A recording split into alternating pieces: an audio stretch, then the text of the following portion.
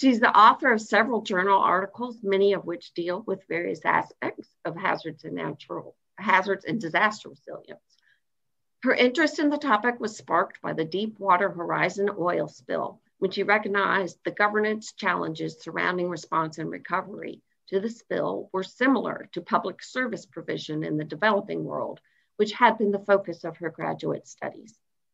She notes that both must balance fiscal and human capital constraints within pre- prescribed institutional bounds while addressing underlying social and infrastructure vulnerabilities.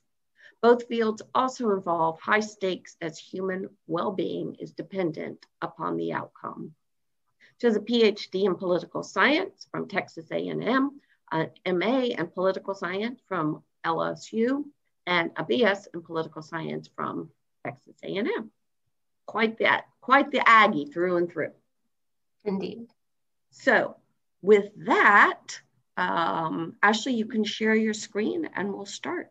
Sounds great. Thank you so much. I'm so pleased to be here and really excited um, to, to talk to you guys about local governance. Let's make sure everything's looking right. Okay, Josh says it is. Just wanted to make sure. So what we're talking about today is local governance in the context of natural hazards and answering the question of what is good governance. I want to start off by um, telling you guys a story related to the Deepwater Horizon oil spill. As you probably know, the um, this oil spill happened on April 20th, 2010, when the BP operated Macondo well exploded off the coast of Louisiana.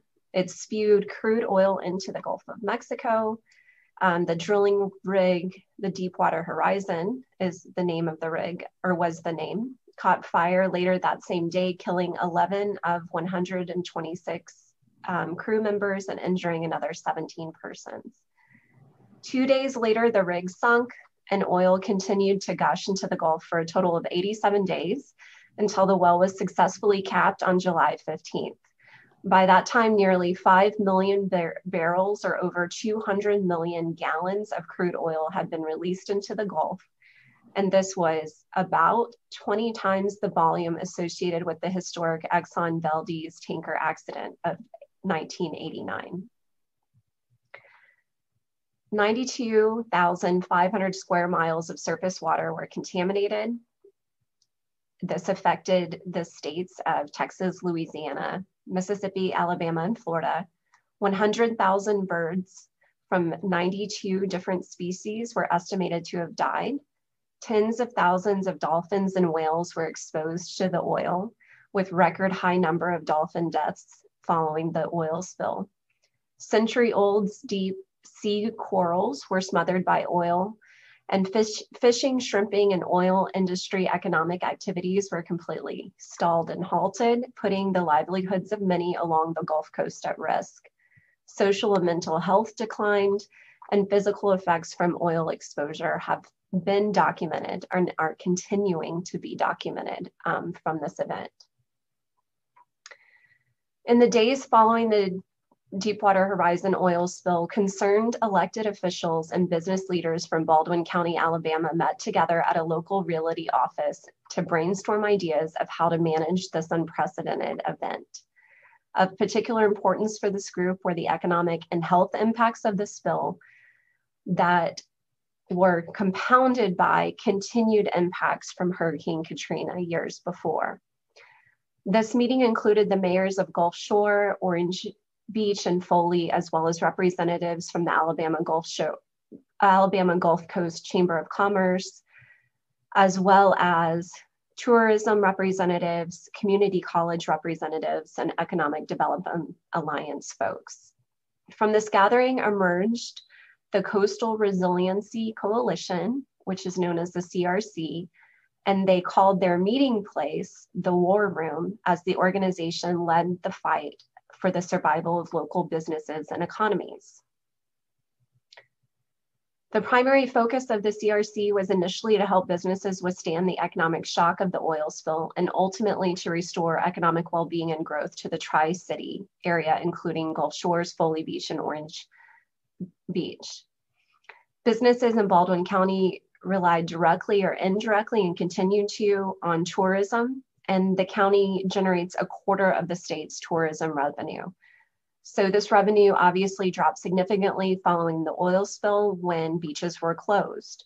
And um, Baldwin County actually reported a 9% drop in tourist and travel related employment in 2010, which doesn't sound like a lot, but that's the equivalent of over 2,500 jobs.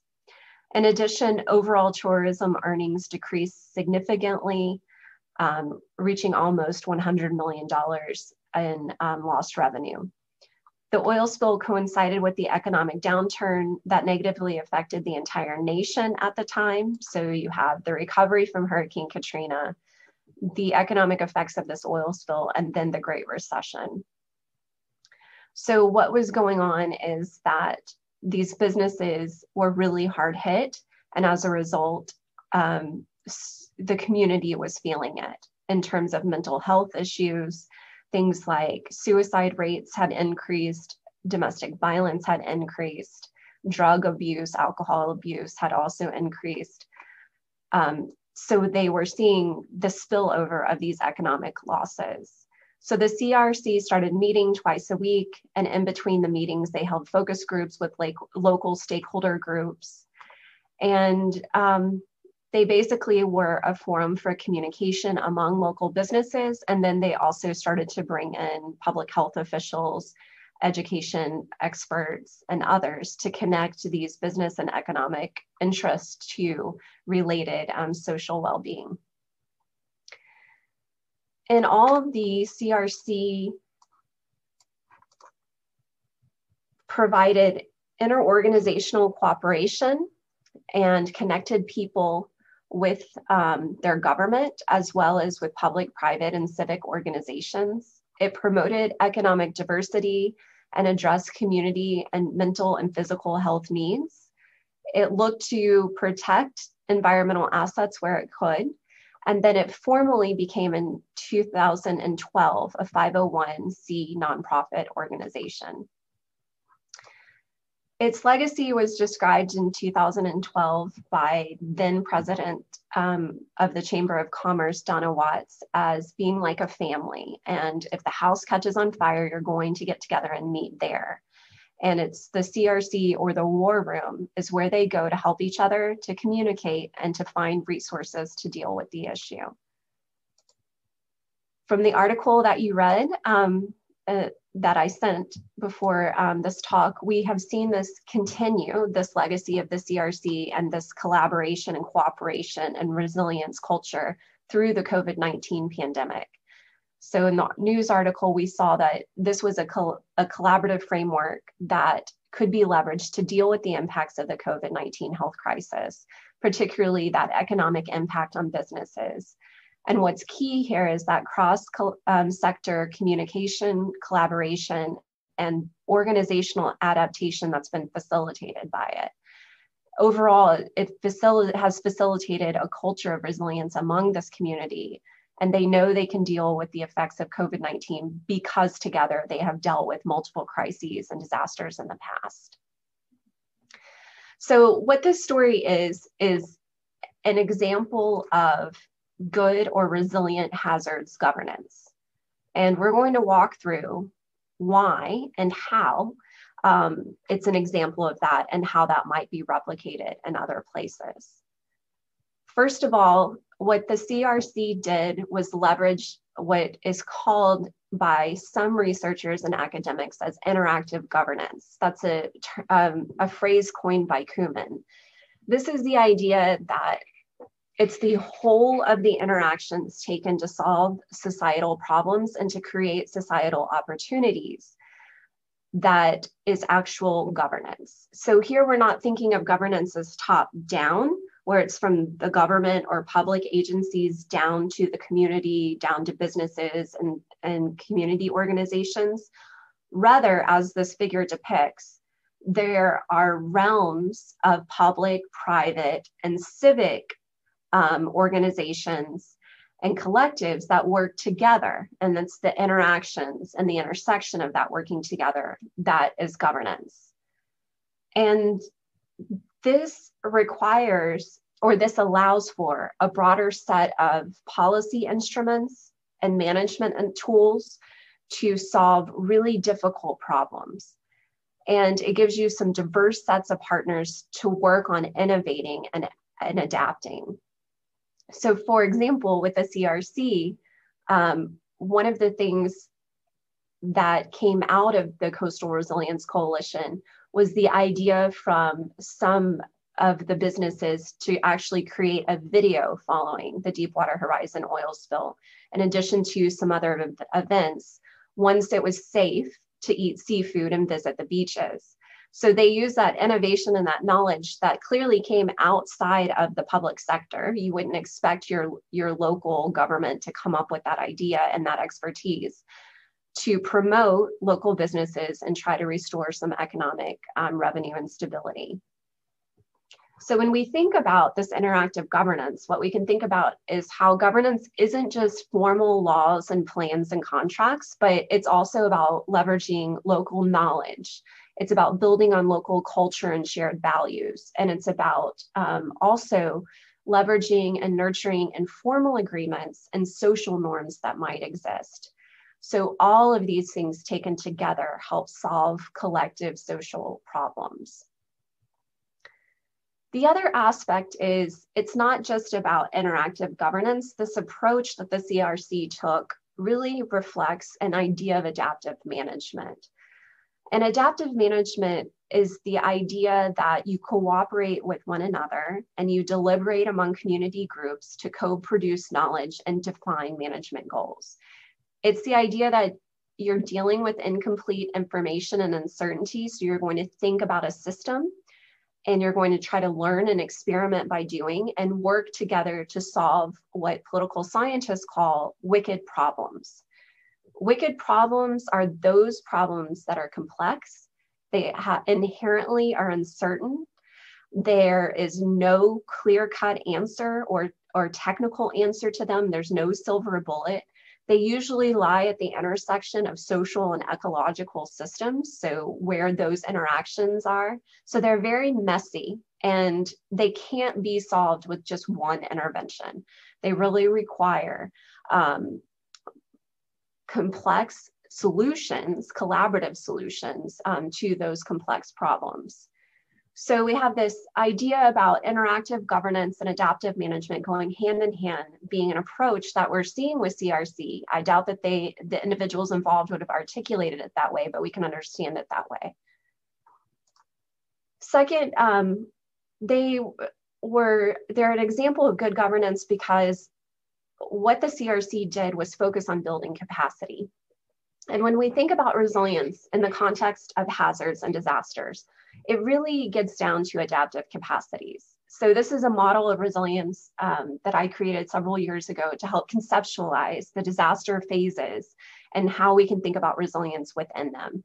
And the idea is that we're building adaptive capacities in the early phases of a disaster. This is before a disaster happens. So when we are doing things to mitigate and reduce risk, when we're doing things to prepare for specific hazards and potential disasters, we're building capacities of ourselves, of our households, of our communities.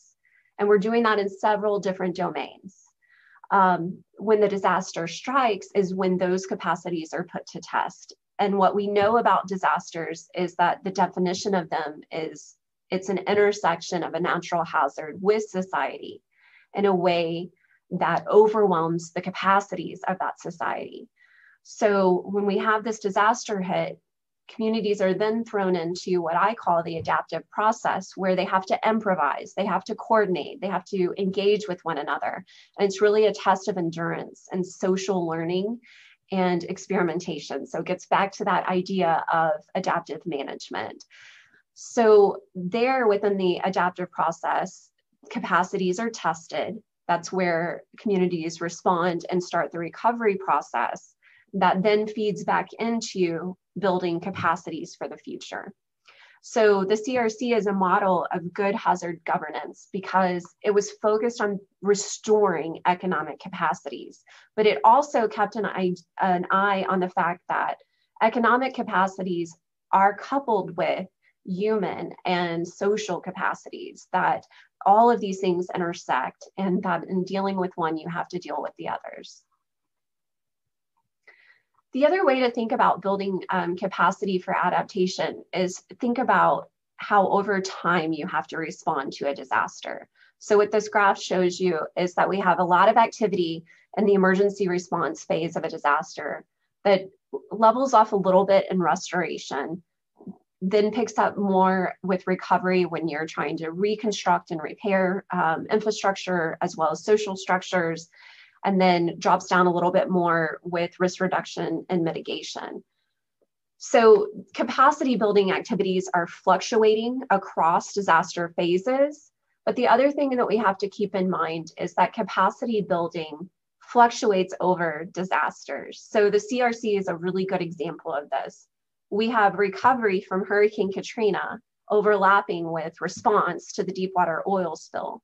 And on the heels of that, we also saw the Great Recession, which was another economic shock to their system. So when you think broadly about shocks and disturbances to a community, you can see those overlapping crises and disasters that requires capacity building on different levels for those different events. Um, and there, this capacity building effort gets really intense when you're dealing with these cascading effects over disasters. The third thing that the CRC um, did that is that demonstrates really good hazard governance is it accepted hazard uncertainty. And we saw that in the news article um, that we read that the members as well as the broader community when crc um, became active and an established part of that community they built a culture of resilience in the sense that they were willing to accept uncertainty and know that they just have to adapt. So, when we're thinking about hazards, we have to recognize that there's incredible uncertainty associated with climate change today, that there's increasing intensity and frequency of natural hazards, that they're highly unpredictable and uncertain. A good example of that is Hurricane Harvey that hit Texas in 2017. This storm track um, on the slide shows you how weird that storm was. It meandered across Texas and stalled out as a category one inland, went back out and picked up speed and went over past the Houston area to Louisiana. The point being that that was because of steering currents that were unpredictable due to warming and warming Gulf waters um, and climate change. So fast forward past Hurricane Harvey, what we know today is that we have cascading disaster threats. So, across natural, technological, and public health crises, have now become very much of our, our reality. So, we know that natural disasters can create technological hazards. They're called Natech disasters. Um, the shiny water that you're seeing on the side of side of the slide is actually um, spill from a Superfund site in Houston caused by flooded waters from Hurricane Harvey. So that's where we see natural and technological disasters impacting one another. You add on to that, like we did last year, hurricane evacuations during the COVID crisis or other health crises, and you get a lot of uncertainty you get uncertainty about what we know, how to deal with things. So the scenarios that we plan for are literally thrown out the window. You get unknowns about how people are going to react and behave in response to these as well. And so, this uncertainty and accepting uncertainty, being comfortable with adaptation and improvisation becomes critical um, in terms of hazard governance. And the fourth thing that the CRC did um, that exemplifies good hazard governance is it invested in public private partnerships. In fact, I would categorize it on the whole as a public private partnership. It was community driven, it had co leadership that came from the bottom up. So, this was local government um, officials getting together with concerned business leaders that were building on their personal and organizational trust to create something new and to create something that could be a forum for adaptation for their community. When you have partnerships like that, it's critical that they're supported by human and physical capital. What I mean by that is that you have the expertise that you need for the things you're trying to tackle, and you have funding to support the activities that you're undertaking. So on the local level, sometimes that means you have to recruit those things, right? And solicit them. Um, everything from bringing in experts from local universities and researchers to applying for grants and other types of funding support um, from outside agencies because local governments are often really strapped for resources. The other thing that these public-private partnerships do is that they incorporate diverse forms of knowledge, and they're not afraid to be open to that knowledge. And that's really critical, particularly when you're thinking about leveraging local knowledge in natural hazard governance. So the idea that local communities have some collective wisdom about the way um, local ecosystems respond to natural hazards is important to bring in. Or even just local knowledge that can serve as a historical marker that 10 years ago when we had the Deepwater Horizon oil spill, this is who we called and this is who we brought in to deal with the mental health issues in schools and to provide lunches for students. Let's do that again in the COVID crisis, you know, things like that. So that diverse forms of knowledge is critical to tap into. And then it's also about being open to diverse and innovative tools that are perhaps outside the, the scope and the wheelhouse of public agencies, but that private and civic organizations and groups can undertake. And that they can do so without being constrained by formal laws and plans, but instead leverage cultural and value norms or informal um, agreements. Okay, so, so far to answer our question, what we've seen is that good or resilience hazard governance approaches governance as that integrative governance. So it's about collaboration and it's about adaptation through adapt- adaptive management.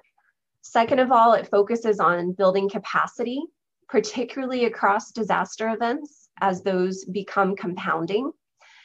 It accepts uncertainty and invests in public private partnerships. So my understanding is that many or the majority of you are planning students and you're probably saying, okay, well, that's nice, but where are the where's the plans? Where are the planning tools? What specific ordinances were passed to make this good hazard governance or what specific economic development activities did they undertake? So you may not like this, but I'm going to sidestep that question by saying what I'm trying to impart to you guys today is the foundation that can then have policies and programs on top of it and tools laid on top of it. And those can go in a number of different directions depending on the community's needs, the disaster context, and um, what's available in terms of resources. So, building codes and environmental restoration, public education efforts, structural mitigation, recovery plans, and zoning those are all policies and programs that can be implemented. Your, the tools that you can use are your entire toolkit, right? Once you have this foundation of sound and good hazard governance. Another way of thinking of this is like this governance can be defined as the social and political negotiation of the objectives of hazard management, while management are the actions to carry those objectives out. So the governance part of it is inherently social. It requires trade offs, it requires compromise and negotiation among parties. And once those objectives are agreed upon, once the collective has a vision, then you can move forward um, with really proactive and innovative policies and programs. You can use the tools at your disposal to um, implement and create those. So we're focusing on the foundation here. And what we've seen is that the Coastal Resilience Center in Alabama exemplifies these four things. But there are a few other things I would challenge you to think about in terms of um, what's needed for resilient hazard governance. The fifth thing is to think in systems. And this loops back some to adaptive management because adaptive management with embracing uncertainty inherently approaches problems from a systems level. But what I'm talking specifically about here, and I'm really borrowing heavily from the natural resource management literature, is that as hazards managers, whether you're an emergency manager or in a disaster related profession, if you can take a step back and look at the bigger picture of the larger social ecological system, you can gain some insights on what interventions are going to do and what they have done in the past, rather than looking at it from a narrow focus. The idea here is that we have social processes and ecological processes, human components and ecological components that are overlapping. They're not just overlapping, they are intersecting and interacting and there's an integration of them where the impacts on one will impact the other. There's an interdependency there that we can trace and we can start looking at the roots of risk socially, ecologically, right? So here I'm talking about social vulnerabilities or exposure to hazards. On the ecological side, I'm talking about how um, the ecosystem has been altered. There's erosion, which causes more exposure. And we can start tracing where those interactions are and then creating policies and interventions and all those management programs to deal with them. This is particularly important as we face these wicked problems of, of hazards governance.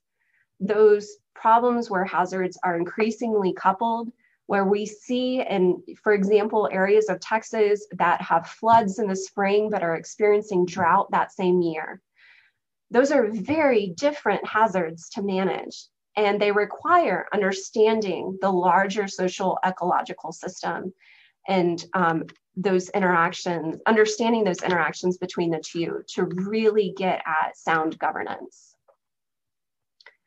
The sixth is to be guided by the principle of equity. And here, what I mean is promoting inclusion of a diversity of experiences and promoting the reduction of vulnerabilities for all. This has to recognize that hazards management, from emergency management to other disaster related professions, including planning, can actually recreate marginalization of some groups and may increase inequities in society. We have to put a different lens on to understand equity issues, and we have to challenge those legacies, be them social, institutional, organizational, or even economic, that might increase inequities, perpetuate marginalization and vulnerability, um, particularly for underrepresented groups in our community. Some of this is recognizing what social scientists call the intersectionality of risk. This is the idea that people have different identities, needs, and capacities, and these change. They're not static, and they affect the ability to prepare for and cope with and respond to hazards. When you start understanding the intersectionality of risk and looking at equity issues with that in mind, you can start disentangling again some of those roots of risk and understanding how planning interventions, for example, might need to be coupled with social interventions and that to reduce risk in one area of a hazards might mean actually reducing vulnerabilities overall in a social economic component. And um, that siloed interventions aren't enough is the point here. All right, so let's put our knowledge to work. I gave you guys a chapter to read of, of um, that I contributed to a recent book on Houston and its legacy with Hurricane Harvey. Houston is the only very large American city without zoning. There's no comprehensive set of guidelines to steer development away from flood risk in the city. Instead, what we have there is a patchwork of land use controls ranging from deed restrictions to building codes that are actually governed by local special districts, not even by the city itself. All right, so based on what we've learned here today, how would you guys approach improving hazard governance? I know this is a challenging question. What comes to mind? You can go ahead and go on unmute if you want, or put it in the chat, either way. I was going to say, based on, um, you know, all of the readings and what we've been talking about is just tapping into the local community um, to really understand, you know, what their experiences have been and just like historically as well as personally. Okay, so community engagement might help start disentangling some of this. Anyone else? I Thanks, think that, Sari. Oh, sorry. I was just going to say, I think that all of the levels of government should be involved, sort of bringing everyone to the table because it's hard to um, work if not everyone's there and actually like engage, uh, sorry, um, engage with each other. So just bringing everyone in. Okay, so collaboration and engagement across levels of government as well, in addition to bring in community. Thanks, Julia. That was good. Anyone? Um, I think it's also very important to understand the economic and developmental motivations that are already in place. Yeah. So kind of analyzing why why are we developing in these areas? Why are we doing these things that now we're trying to, you know, mitigate um, the damage that we're trying to mitigate? We're trying to understand the financial systems in place that have gotten us to this position in the first place. Yeah, Pierce, thanks for um, challenging us to think about the systems because that becomes a bit overwhelming, but it also is really illuminating, right?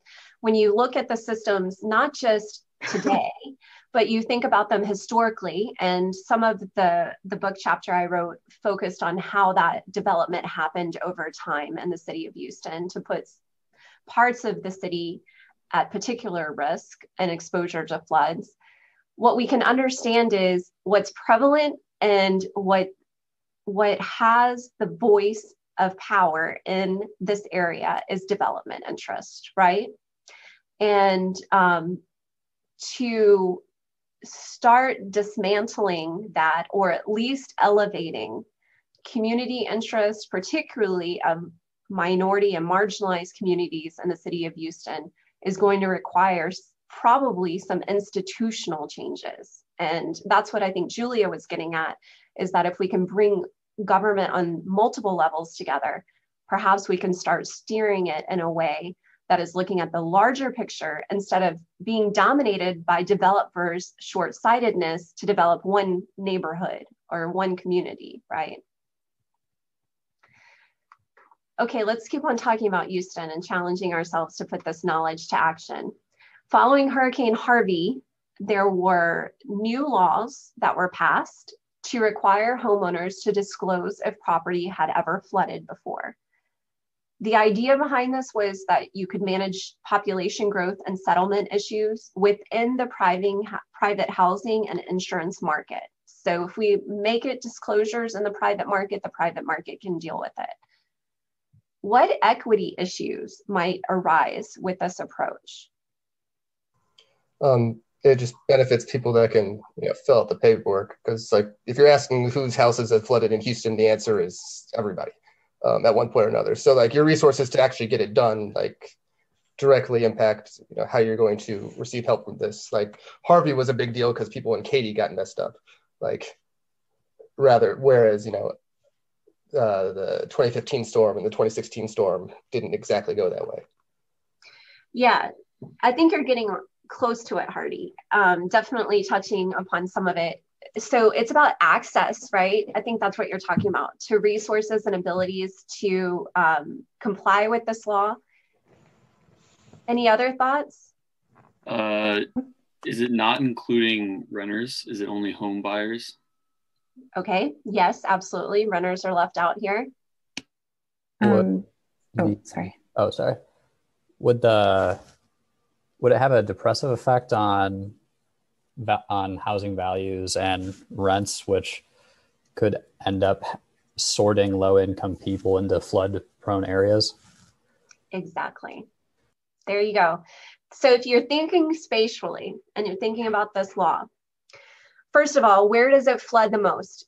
Hardy was right that everyone has experienced some flood risk, more or less, in the city of Houston. But where is it really flooded? Where you're seeing floodwaters from Harvey up up to where the windows are, over doors. It's in the south of Houston. The south of Houston, which is near industrial sites, which was um, resettled uh, in the 50s and 60s as affluent families went other places. They went north, they went to suburbs of, of Houston to the west and to the east, northeast. The south of Houston then was populated by minority communities predominantly and low income families that could afford the low prices there and quite frankly couldn't afford anything else. So they are now going to be penalized by these types of laws because they're having to disclose how much their home flooded which means that that home in comparison to a home in a new subdivision that is in the outskirts of Houston of the same value, um, when comparing the two, people are going to want the subdivision home, right? And so we get these compounding issues come from it, equity issues of it's it becomes almost prejudiced against low income and, and minority communities. It's promoting urban sprawl because when you have new developments, guess what? You haven't flooded because your home's new. And in addition to that urban sprawl, we have compounding issues of new developments causing floods in old developments with runoff and the unforeseen effects. So, all of this is equity issues, right? It's equity issues for people who are living in the older development um, neighborhoods and communities. It's equity issues for low income families and minority communities, and for those that lack access to resources um, that could um, actually help them benefit from this. So the what I'm getting at here is this is an example of an intervention that Texas undertook in response to Harvey. And they said, you know what, we don't want to deal with this across the board, let's just let the private market deal with the private market instead of saying, okay, let's deal with this flooding issue on a cultural and social level. Let's bring in community organizations and their voice. Let's bring in public agencies to actually regulate this and the private market. So when you approach governance from a siloed perspective and you're looking at an intervention in just one aspect of it, it's missing that opportunity for interactive governance and it then hits challenges when it comes to resilience, right? Um, all right, here's another example.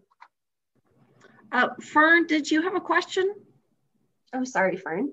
Oh, oh no, I just had an answer, but I, That's I fine. Like we've covered that. I actually I did have one question on that.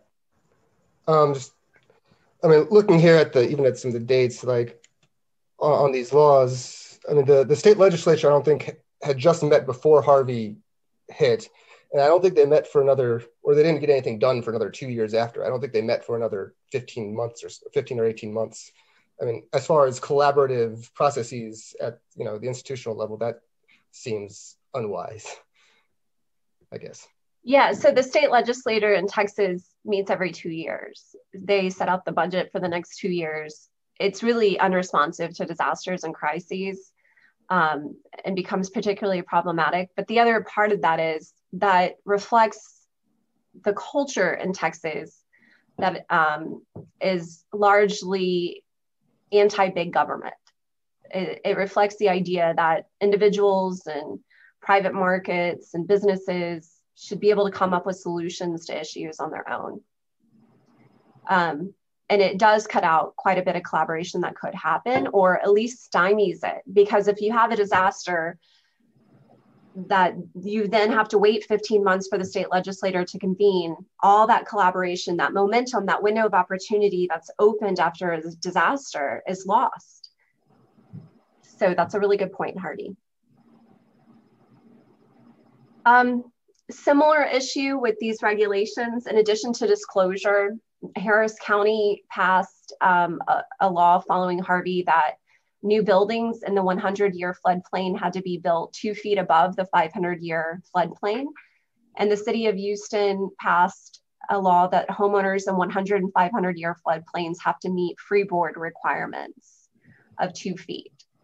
So, thinking specifically of this, um, these laws, are there equity issues here? And are there other governance issues you think?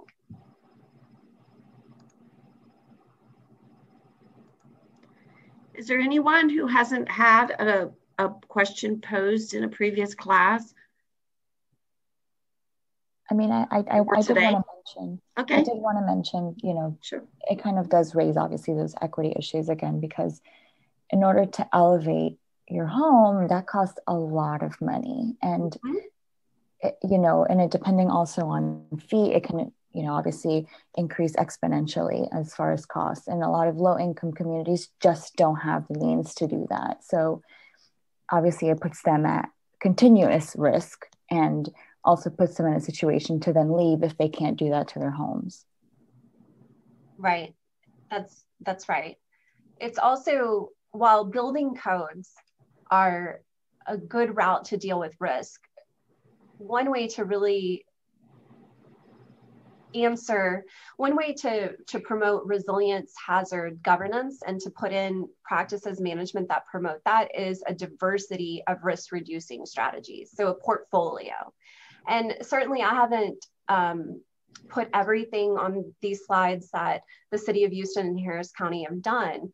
But following Harvey, they were really focused on passing regulations for homeowners rather than approaching it more holistically.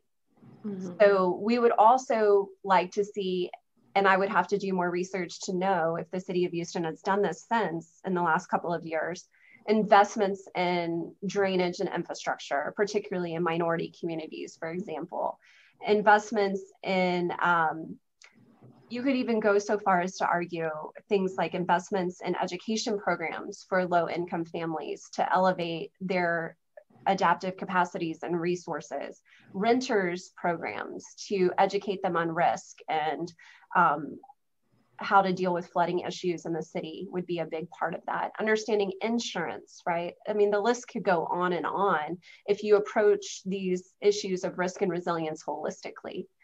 But again, what we're seeing here are these equity issues that um, are that emerge because of a focus on the homeowner and because of a focus on regulations of the homeowner that quite frankly some communities just can't um, afford. I've seen this in other places um, throughout my research. In 2000 and 11, I did a lot of interviews along the Gulf Coast over in Alabama as well, um, and in Mississippi, um, focusing on how they were recovering from Harvey and then Deepwater Horizon oil spill. And um, in Mississippi and Biloxi, what you saw were um, fishing communities, Vietnamese fishing communities that had been there for decades, um, completely gone. And um, they had moved or, or, or just been displaced and scattered and were not returning. And that was largely because they couldn't afford to after the regulations that were passed in the state that were intended to make homes more honestly safe for wind is what it was focused on retrofitting for wind and um, some some codes that would make them more resilient but what it in effect did was erase a culture um, in, in that community. All right so in conclusion what's good or resilience hazard governance? So what what can you guys do as disaster related professions in your disaster related professions? You can pursue public private and civic cooperation um, and co-leadership that's open to innovation including innovative tools that are outside of public agencies you can accept uncertainty and expect the unexpected so you're focusing here on adaptation as well as capacity building for that adaptation. think about those larger social ecological systems, consider equity issues, and challenge legacies that perpetuate equity inequities. Just those little things, you know. So that's what I have, guys. Um, I hope that it gave you some ideas about governance as a whole. Let's see, I'm looking in, okay, the chat. Hardy is saying there's been some positive steps as far as green infrastructure, but that's about it. Although a lot of the issues regarding inequities are highlighted in their climate action plan, but that is yet to be implemented. And I think you're referring to the city of Houston. Hardy, is that right?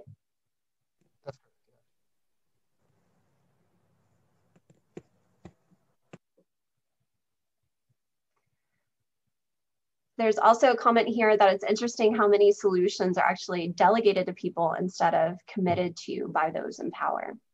And that is a great comment. And I think it reflects also the need to engage communities and diverse stakeholders um, in conversations about solutions, right? Yeah, that's great. I'm just making some notes for myself. Um, I have a question here from, am I on mute? No. Okay. From I'm going to combine the question posed by Kristen as well as Emma because they were kind of similar and and I've found that that often happens is that there's lots of overlapping interest uh, in the issues that are presented. But basically, I'll start off with Emma's question. If land use development plans continue to use 100 year floodplains, et cetera, while 100 and 500 year floods continue to happen on a much shorter time frame than this, how will we ever be able to plan our developments to be prepared for future flooding? And let me tack on to that. Um, Kristen, who says, why do municipalities continue to use the 100 year floodplain if it's proven that FEMA floodplains have failed to accurately account for flood risk and impacts? So sort of two sides of the same coin. Yeah. Well, I, I mean, I would really just pose these questions to you guys um, and your future in terms of practitioners or researchers on these issues. Where are we going to get the data um, and the information available to municipalities to inform them of their risk. So the reason why municipalities and homeowners um, rely on FEMA's 100 year floodplains is because it's been available information that is widely available. It's comparative, right? And um, even though research, including research that has been done by folks here at Texas A&M at Galveston, including Russell Blessing and Sam Brody, has shown that those floodplains are actually completely inaccurate. Um, what we, the reason we use them is because it's the lens by which we have been looking through. You have to replace it with something. Um, and to ask municipalities to come up with that on their own is not realistic.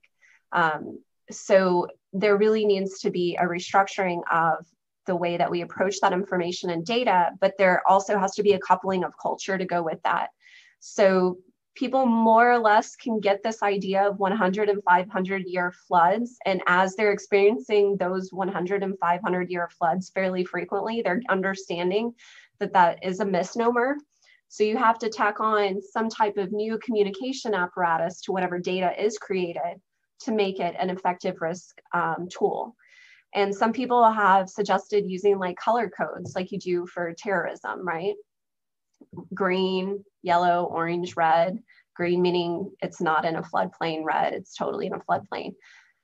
I don't know what the answer is. I'm going to leave it to you guys that are much more creative and smart than I am to figure that out in the future. But there has to be um, some changes with regards to how we deal with um, understanding the risks that we're at.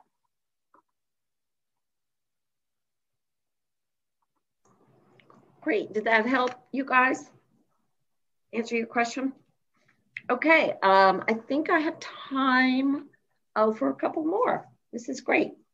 So um, let me see. I think this is Josh's question, because I have it split out. Yeah, Josh. Um, so he asked, the new regulations in Houston seem to make it more expensive to replace old or dilapidated housing. What are the socioeconomic impacts? And you've kind of touched on that a little bit, but this is getting into the nitty gritty weeds. Yeah, you know, that's actually a research question that can be answered and probably is by some folks um, in the area. If you're interested in research in Houston, I would encourage you to look at the SSPEED Center at Rice University they're doing a lot of good work, not just on um, hydrological models of flooding, but also socioeconomic impacts. Um, HARC, which stands for Houston Area Research Council, is also doing a lot of interesting survey data and social survey data as well as others. I haven't personally looked into um, that that research question, but it's certainly something that could be answered and tracked. What I would expect is that the socioeconomic impacts of these type of regulations are unequal and are disproportionately felt by those of lower income. The other uh, part of this that we haven't talked about are buyouts and um, offers of buyouts, where those go, where they're targeted. Um, and how they might provide opportunities for um, some families to start over, but there's a lot of questions about whether the buyout is equitable in terms of giving them the capital resource, the financial capital or resources to um, create a new home, to buy a new home uh, structure. And then there's a lot of questions about the social impacts of buyouts and moving. So if you live in a community, you've raised your children in a community, perhaps you yourself were raised in that community. If you accept a buyout and you have to move somewhere else in the city, and Houston is the third largest city in the nation, um, what happens to your community connections, to um, the school that your kids go to, the church that you go to? Is it too far now to drive to be part of that? So um, there's other aspects of it beyond just the financial ramifications. Yeah, so Julia kind of um, touched on that when she asked, in your opinion, what are the other what are other realistic options for addressing repetitive losses other than property buyouts? Mm. And this, I mean, you've, you've talked a lot, a lot of some of the issues and some of the solutions in a broad context, but yeah, pretty specific it's very specific and i wish i had a good answer for that if i did i i could um, help a lot of people um, you know i think that there's no answer one size fits all this is really where it has to be community driven where um, collective knowledge and social learning becomes really critical um, in terms of how to deal with the natural and environmental risk you face um, while also leveraging the social and community resources you have. And so, um, what does that mean? Does it mean elevation? I don't know. I mean, some so some neighborhoods, for example, following Hurricane Harvey in New Orleans, like New Orleans East neighborhood, they now look like beach houses. They're elevated, you know, 20 feet in the air. Um, is that a good thing because they got to stay there? Is that a weird thing? Did people leave? Was there patchwork recovery? Yes and yes. So I don't know. Um, I think this again gets back to these processes of governance are important. Embracing collective collaboration or embracing collaboration, diverse collaboration, embracing different forms of knowledge, and being willing to deal with that uncertainty and adaptation and coming up with innovation matters. Another thing to look at would be things like the Rockefeller Resilient Cities Initiative and some of the innovations that they've been able to identify.